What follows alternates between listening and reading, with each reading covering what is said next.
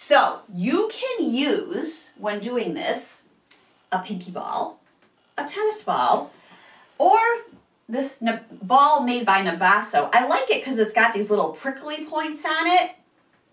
And um, it also divides in half. And then this ball in there, that doesn't feel, that this is a lot of pressure. You may not want to use this one quite yet.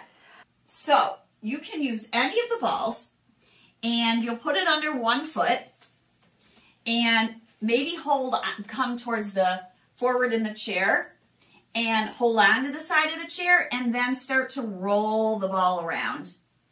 And you can find different pressure points to remain, press down, breathe. If something feels too tender, then let up on it. Don't push so hard. And you want to get into the heel area, the arch area, the ball of the foot, and even into the toe area to help spread them.